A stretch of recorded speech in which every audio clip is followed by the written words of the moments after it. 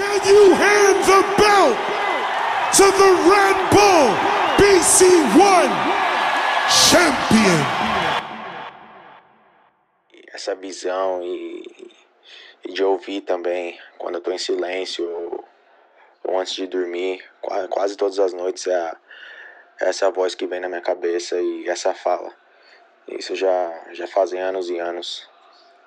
Então é algo que, que meio que eu já me acostumei e, e que agora eu, eu tenho a chance de poder trabalhar em cima, em cima dessa visão e, e, e conquistar um dos meus, meus maiores sonhos desde quando eu comecei a dançar.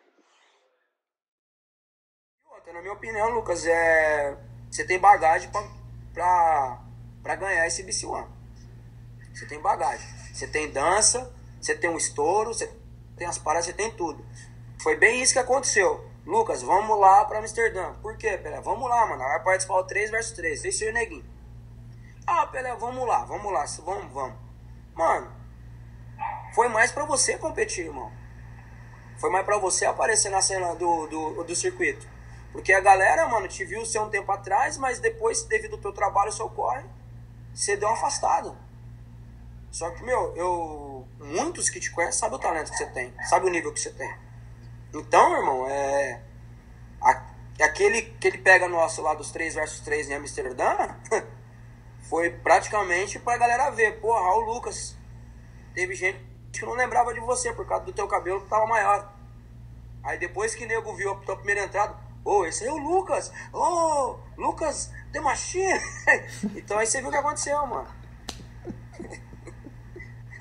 Então, assim, mano, na minha visão, Lucas, você tem bagagem, você tá preparado, entendeu? E só ir lá, mano, e fazer tua parte. Independente de qualquer coisa, faz ela pra você, certo? Primeiramente, pensa em você. Pensa assim, poxa, lá eu comprei o DVD na feira. E hoje eu sou um dos convidados. Quer queira ou não, do, na minha opinião, de muitos, o maior campeonato de break 1 versus 1. Então você tá pronto, irmão. Vai lá e desce a madeira sem dó.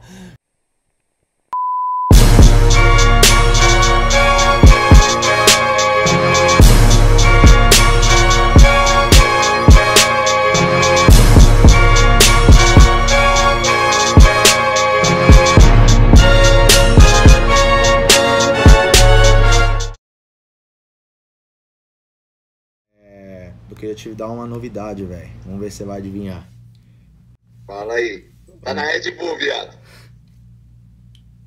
Ah, caralho!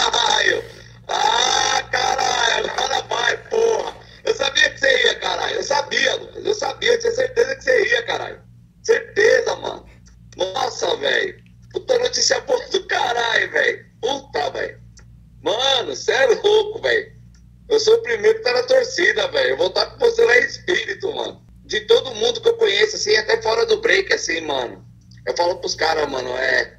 Eu falo, não, tem um brother meu que mora fora, mano, mas o moleque é. Tá lá, não é porque é, nasceu com o cu pra lua, não. Eu tô ligado que sua caminhada foi na, na garra, foi, foi na unha, o Luca, tá ligado, mano? Você é exemplo, mano. Tipo assim, você é muito mais novo do que eu, mano. Mas eu tenho você como exemplo, mano, de perseverança, de acreditar, tá ligado, mano? E nada mais justo do que estar no bagulho, é seu sonho, mano. Since BC1 last year, that I competed with Pelé and again, I've been focusing on like, I had this feeling that it would happen this year. I just remember watching, because after the battle that night, the 3 on 3, we, we watched the World Finals and I remember myself watching, like seeing all those guys in front of me, you know. And I was like, damn, I have a feeling, I don't know why that it's to happen next year, 2018. I was already thinking about 2018, and it was only 2017, you know. My mind was here already. And look where we are, getting ready. That I posted a photo on my Instagram, February. I posted the bell photo, the Red Bull bell photo, the champion bell from last year. The message was out there, you know, and it was only February. And I didn't know at all.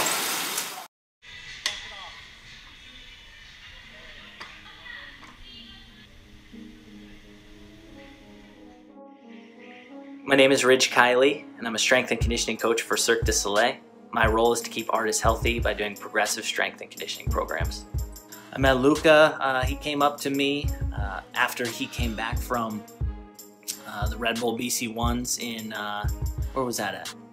I think it was in Amsterdam, and and uh, he had done the 3v3 uh, right before um, the BC one, the solo competition, and he came back and said, "I want to be a world champion." And right then and there, I said, "Well, it starts now." And we knew that it was going to be in the fall or maybe even early winter of 2018, so we just started preparing. He had no clue that that he was going to get selected or that he was going to qualify or anything like that for the BC one. He just he said, "I want to do it," and I said, "Well, let's start because it's going to take going to take a lot of preparation to get there." From there, uh, we just started a, a, basic strength and conditioning program just to build his foundation. Once we once we did that, we started sitting down. We analyzed the whole breaking b-boy competition setting. And we, we started to say this is what the work to rest ratios are. This is this is the things that i see that you need to be stronger. And especially luca he's a powerful uh, b-boy. So i said we need to work on a lot of power training too. But in order to do that we need to get strong and and uh, there's a lot of qualities that we need to develop in the process. So it was a uh, a long progression just to get to where he is, which we're about three, we're coming up on three months out from the competition, and we still have a lot of work to do.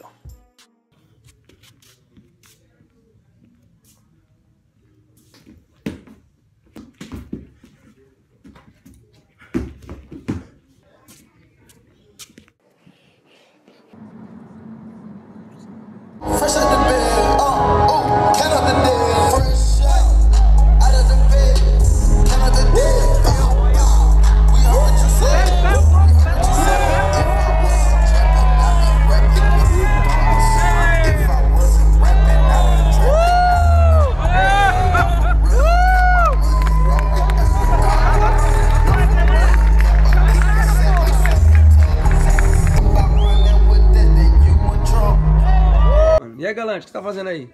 Então, esse aqui é o Alfe que vai rolar no Red Bull BC One amanhã, no Mundial. Tô preparando aí tudo. Então, daqui a pouco, aguarde. Lucas Galante Fashion. E eu sou o quê? Personal Style. Olha o cidadão. Vai estar tá assim amanhã, é, Lucas? Tá, tá com as etiquetas, mas... Vai estar tá assim. Nossa, Pelé, o que você tá fazendo aí, velho? Ô, oh, e aí, Lucas, irmão? Tudo bem? Ah, de boa, cara. Tô aqui, tá ligado? É, dando uma relaxada aqui de Gucci, tá ligado? Pra competição. 3 vs 3, Tsunami All Stars amanhã. Two, let's go! We're gonna have a DJ switch. The DJ don't play, the dancers can't dance.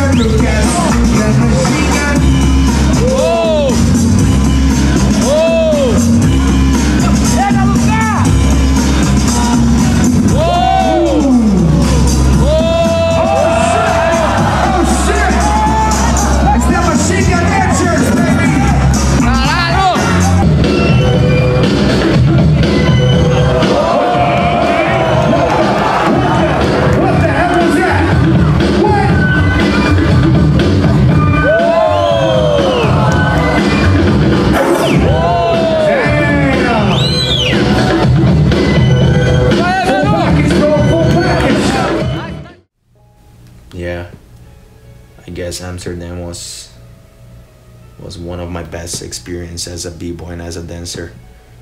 And yeah it, it was great to see everybody there and, and, and a lot of people they they couldn't recognize me because of my hair. Uh, i never had like long hair before so uh, i think that when I, I i did my first set they they knew who i was you know from from from the past. And yeah man it was a great time and, and one of my best trips for sure.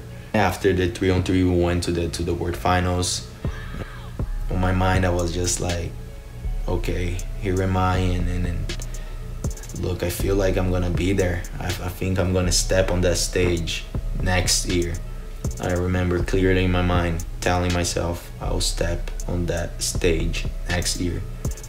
And and and i don't know man i just i just had that feeling. And